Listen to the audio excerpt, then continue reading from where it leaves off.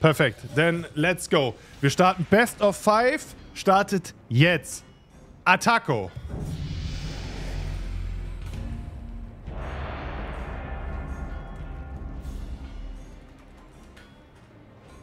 Knockhut. Auch geil.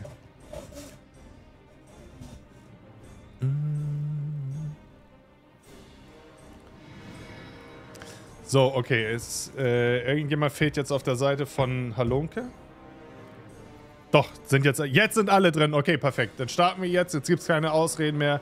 Wer disconnect hat, hat Pech gehabt. Wir hauen uns jetzt richtig in die Fresse. So. Lasst mich kurz vorstellen. Auf der rechten Seite Lycera Dragon. Mit, zusammen mit dem Mistweaver Skinhead. Zusammen mit den beiden Hexenmeistern Jenkorov und Bankster. Und Ele-Schamane Shreed. Auf der linken Seite haben wir Double, Double Mistweaver, Heel Cleave, Halunke und Loki. Und äh, zusammen mit Black Rogue, Holy Hodge und Manchester. Ja, Best of Five äh, startet jetzt. Äh, viel Spaß.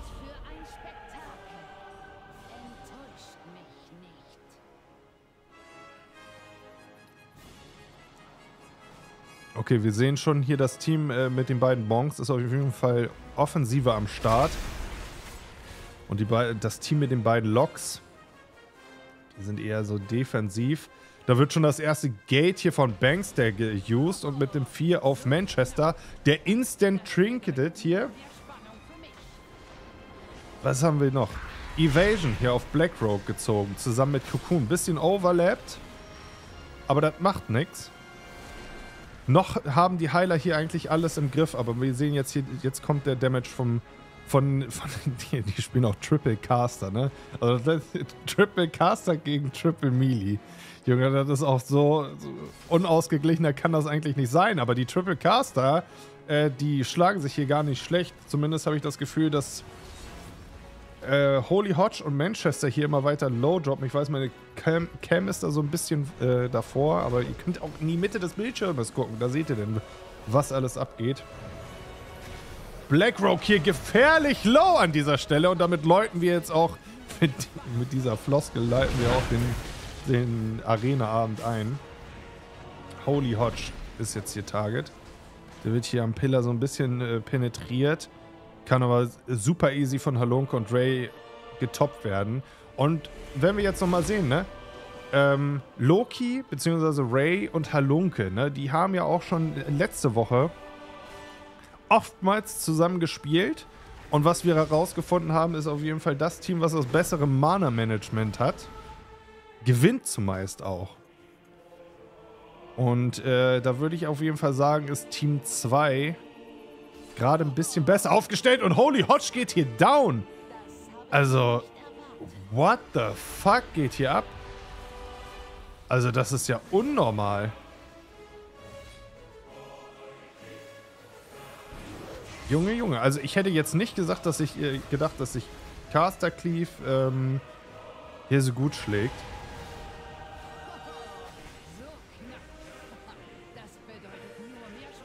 Lass nur Best of Three machen. Sind noch ein paar Leute, die mitmachen wollen, glaube ich. Ja, der Abend ist aber auch noch lang. Also wir machen hier jetzt Warm-up. Deswegen lass die Leute mal äh, spielen. Mal gucken. Also Best of Five ist ja nicht, äh, wir spielen unbedingt fünf Games. Also das kann ja schneller vorbei sein, als man denkt. Sorry, mal kurz Essen holen, Cassie. Ja, kein Problem. Sag nur vorher Bescheid, ähm, bevor wir inviten dann ist das auch gar kein Problem. Wir haben dich ja auch ausgetauscht, ne? so ist es nicht. Ist nur gewundert, warum du nicht äh, mit in die Arena kamst. So, ich würde sagen, also ich glaube, Halunke und Loki können hier nicht viel mehr ausrichten. Das ist erster Win, geht an Team 2. So, Arena verlassen. Also da bin ich jetzt mal gespannt. Da bin ich echt gespannt.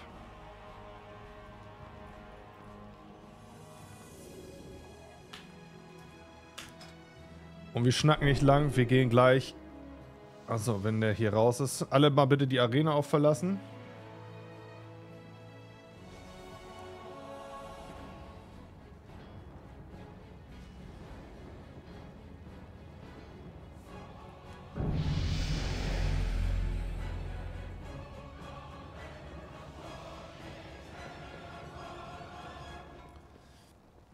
Halunke muss nochmal bitte äh, aus, dem, aus, dem, aus der Arena raus. Sehr gut. Unser Rogue hat gelieft.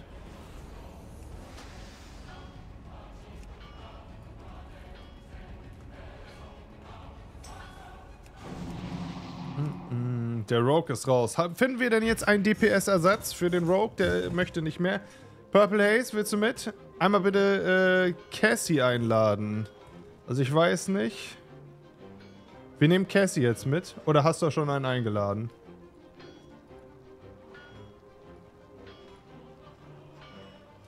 Ihr seid schon voll. Okay, pass auf, Cassie. Wir machen das einmal zu Ende, dann mache ich wieder, äh, wenn das Best of Five zu Ende ist, äh, wenn das zu Ende ist, dann mache ich wieder eine RBG bzw. eine große Gruppe auf und dann kannst du auch wieder reinqueuen.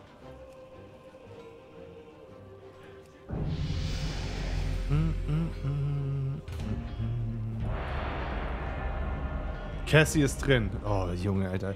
Ist das geil. Okay, ja, dann ist gut. Ich weiß das nicht. Ich kriege ja auch immer nur das äh, mit, was im Chat abgeht. Perfekt. Wo bleibt Deathbloom und alle? Die kommen noch, die kommen noch. Ja, es gab mal 20 nach 6. Wir sind ja noch im Warm-up. So. Und wir haben hier wieder... Oh, auf der Arena ist halt auch wild, ne? Ist eigentlich gut für Caster. Aber... Na, wir werden sehen. Wir werden sehen. Auf jeden Fall, zweite Runde. Best of Five. Double Monk äh, gegen Double Lock. Also Hexenmeister ist halt, glaube ich, auch. Und Ele sind, das sind so beides, glaube ich, so eine der wenigsten, wenigen Heiler, die hier gut performen.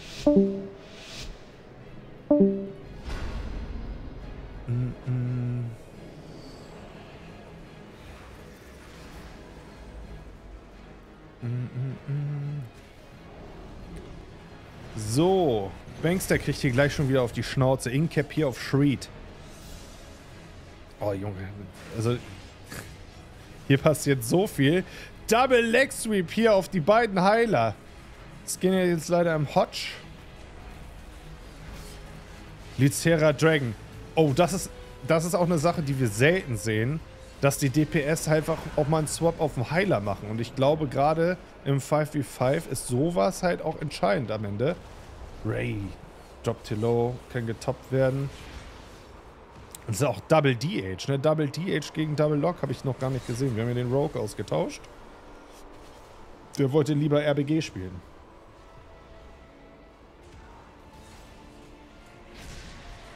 Manchester hier, Target. Eieiei. Kriegt hier ordentlich einen auf den Sack. Holy Hodge ist jetzt Target. Und irgendwie habe ich das Gefühl, die, die, die haben sich so ein bisschen auf den Dragon hier, auf den Heiler fokussiert. Was natürlich äh, positiv für eigentlich alle Caster hier ist, ne? Weil Banks, der Yankorov und Treat können natürlich die ganze Zeit äh, freecasten. Und was passiert, wenn man äh, Caster äh, freie Hand lässt? Die scheppern ordentlich Damage raus, ne? Hier fliegen auch die Chaos Bolts. Holy Hodge, fast down, hat hier seine, äh, sein Magic Shield an. Oder wie auch immer das heißt. Incap of Ray. Skinhead. Lycera. Oh, kann noch getoppt werden. Mana-technisch sieht es aber bei Team 2 wieder ein bisschen besser aus, ne? Also Halunke und Ray, die verbrennen hier gut Mana. -mm.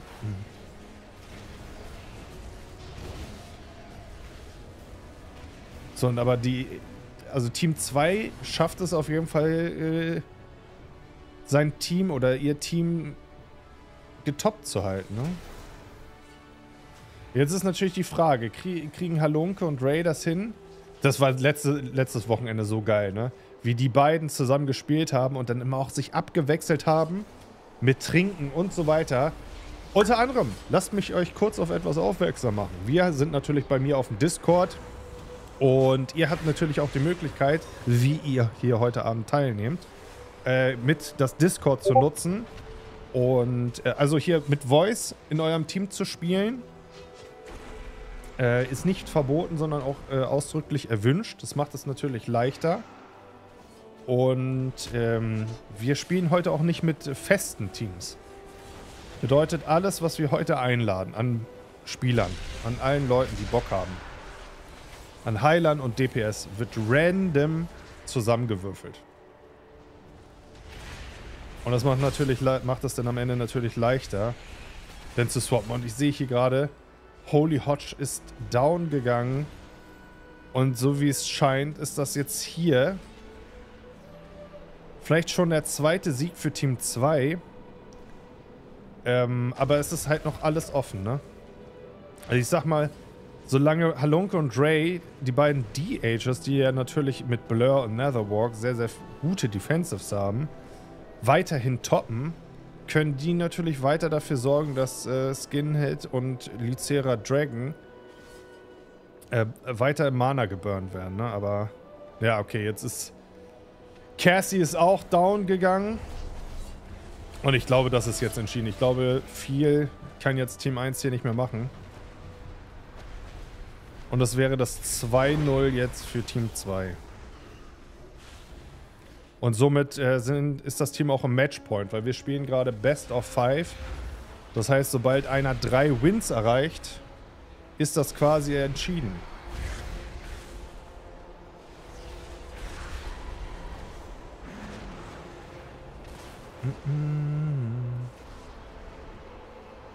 So, Manchester kriegt hier wieder auf den Döls. Also, na, da würde ich gern mal echt einen DPS-Meter sehen.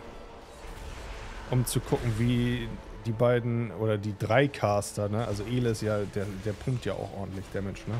Ich gehe mal sehen, wo die da stehen.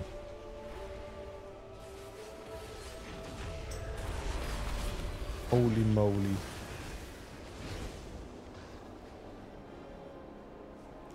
Manchester gibt aber nicht auf. Der zieht durch bis zum bitteren Ende. Okay.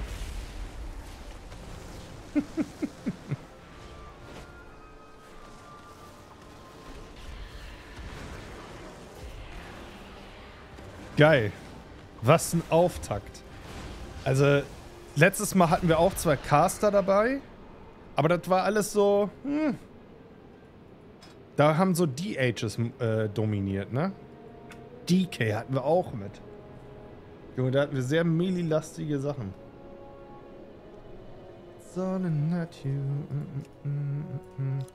So. Matchpoint für Team 2. Wir gehen gleich in die nächste Runde. Und schauen mal. Hakencup. Einfach Haken Cup. Junge, das ist auch so die. das ist mit Sharegrad die unangenehmste Arena für 5 gegen 5, die man spielen kann, glaube ich. Also Sharegrad wäre halt noch schlimmer, glaube ich. Mit, mit Knockbacks und was weiß ich nicht alles. Das ist so eine schmale Brücke, auf der die Leute sich in die Schnauze hauen. Aber es ist einfach Haken Cup. so, Matchpoint für Team 2.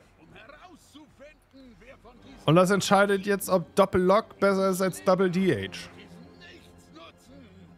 Ja, ich glaube aber auch, dass halt äh, der Mix aus ähm, Evoker Heal und Mistweaver schon in der Kombi nicer ist als Double Monk. Aber man darf natürlich auch nicht vergessen, das äh, ist ja fast wie RBG Zerg heilen. Und im RBG spielt man ja auch na, je nach Belieben in Zerg-BGs halt auch Fistweaver. Und ich weiß gar nicht, ob jetzt hier einer von den Monks auch Fistweaver ist. Aber das könnte natürlich hier auch vielleicht den Change bringen, ne? Aber jetzt gucken wir uns erstmal Matchpoint an hier.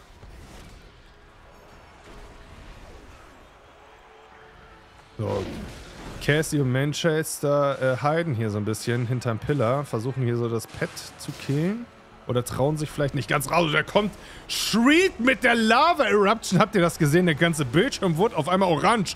T Triple, Quadruple, Five times Leg Sweep hier. Also Leg Sweep kommt hier ja richtig zur Geltung. Ach du Scheiße, und das ganze Team ist da eben kurz low gedroppt. Holy fuck, Alter. Was ist hier los? Hier wieder äh, Target Lycera Dragon. Also da wird echt penetrant auf den Heiler gegangen. Das ist auch Wahnsinn, ne? Also es geht hier eigentlich darum, wer burnt wie viel Mana. Incap auf Halunke. Und ähm, Skinhead ist äh, sehr greedy, ne? Der rennt rein, holt die Incaps, holt die Leg Sweep, aber Ray und Halunke sind natürlich ein eingespieltes Team. Die wissen schon, was sie dagegen machen müssen und wie sie zu reagieren haben. Holy Hodge! Hier Low gedroppt muss mit Cocoon gesaved werden, aber Halunke und Ray haben nicht overlapped. Das ist ein starker Punkt gerade. Allerdings haben natürlich Skinhead äh, oder Skinhead hat halt immer noch sein, sein, sein Cocoon ready.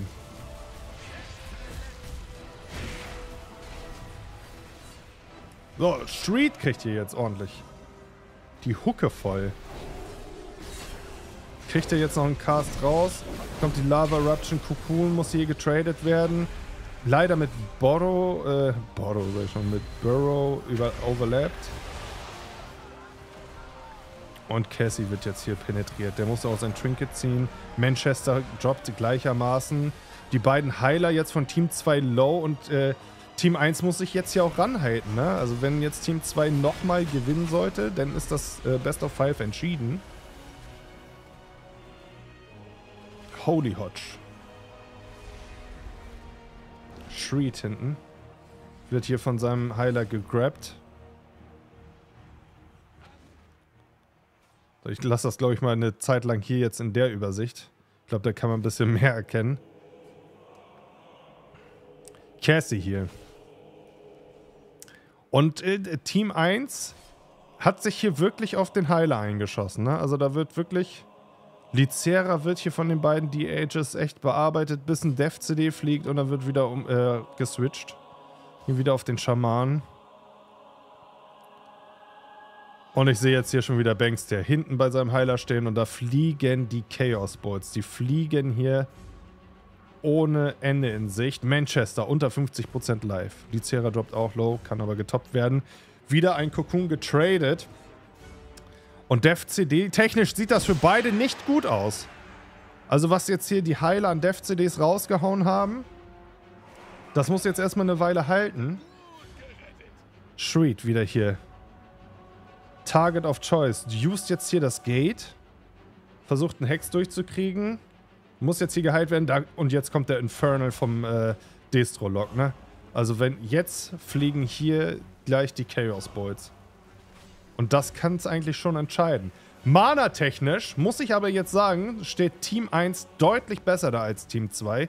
Also da muss Team 2 ordentlich pumpen. Holy Hodge! Droppt hier low. Kann aber noch getoppt werden. All good. Ist aber auch hier Target of Choice und ich sehe Banks, der da schon wieder sitzen. Der castet hier die äh, Chaos Boys, Junge. Da fliegen die in einer Tour. Lava Eruption hier von unserem Elementarschaman. Hodge Mortal Coil hinter dem Pillar, aber einmal rum, sodass es wieder in die äh, Line of Sight von seinen Heilern kommt. Lycera und Skin beide Low Mana. Halunk und Ray burn gerade so ein bisschen In-Cap hier auf Ray. Cocoon auf Holy Hodge muss hier getradet werden. Ray hat seinen Cocoon aber auch schon draußen. Das heißt wieder quasi Patt-Situation, aber wir haben hier noch Ray mit Revival. Und ja, ich weiß, du möchtest gerne, dass ich äh, Loki sage, aber ich sehe halt den Namen und muss das so aussprechen. Ich hoffe, du nimmst mir das nicht persönlich. Shreed hier, unter 50%. Schaffen die das jetzt in Ele umzuhauen? Die müssen was machen. Die müssen jetzt was machen, sonst ist das Game vorbei. Wir haben jetzt fünf Minuten Spielzeit in dieser Runde schon auf der Uhr. Holy Hodge! Tradet hier seine Bubble. Und das sind halt die Chaos Balls. Ne? Wenn man halt den Destro-Lock in Ruhe sein Süppchen kochen lässt. Und hier sehen wir schon wieder Halunke. Äh, ich glaube, der war kurz äh, trinken. Ein bisschen regenerieren. Versucht jetzt hier seine... Und da geht Holy Hodge drauf. Ach du Scheiße. Ich glaube, das war der Demo-Log, ne? Hat der, das war Jenkorov, oder? Zusammen mit Shreeds. Da fliegen auch die Lava Eruptions. Also, ich muss sagen, Caster performt sehr, sehr stark. Ne? Also Hexenmeister ist sowieso big, ne? Und Ele, ich glaube damit, also Hexenmeister und Ele, damit haben sich halt auch die besten Caster momentan irgendwie zusammengefunden. Wilder Auftakt heute. Wilder Auftakt. So, hier wird nochmal Druck auf Street gemacht. Ja, Skin ist äh, oben. Der Mistweaver ist oben. Das heißt, nur ein verfügbarer Heiler. Das heißt, für Halunke Ray, Cassie und Manchester für komplett Team 1, auch wenn Holy Hodge jetzt tot ist, ist es noch nicht zu spät, hier noch einen Kill zu holen. Incap hinterm Pillar auf äh, Manchester. Der hat aber äh, versucht, Skin vom äh, Skinhand hier vom Trinken zu stoppen. Und äh, wenn die das jetzt smart ausspielen, ne? Halunke hat halt nochmal. Halunke sitzt hinten und trinkt direkt gerade das Mana. Manchester ist sehr, sehr low, kann hier sterben. Kriegt den Ku ne, kriegt keinen Kokon. Halunke konnte ein bisschen Mana wieder reggen. Also es ist noch alles offen. Also hier ist noch gar nichts entschieden. Auch wenn jetzt Holy Hot äh, tot ist. Man darf auch nicht vergessen, es ist erlaubt zu retzen. Also wenn sich jetzt Halunke rein theoretisch hinstellt und er wird nicht unterbrochen beim, äh, äh, beim Wiederbeleben von... Oh, oh, da geht Cassie down. Und ich glaube... Eben hätte ich äh, Team 1 noch eine, eine respektable Winrate zugeschrieben oder Win-Chance. Aber jetzt, wo Cassie tot ist, ich glaube, da passiert nicht mehr viel. Ne? Also es war ein kleines Fenster. Aber da wurde auch alles getradet, ne?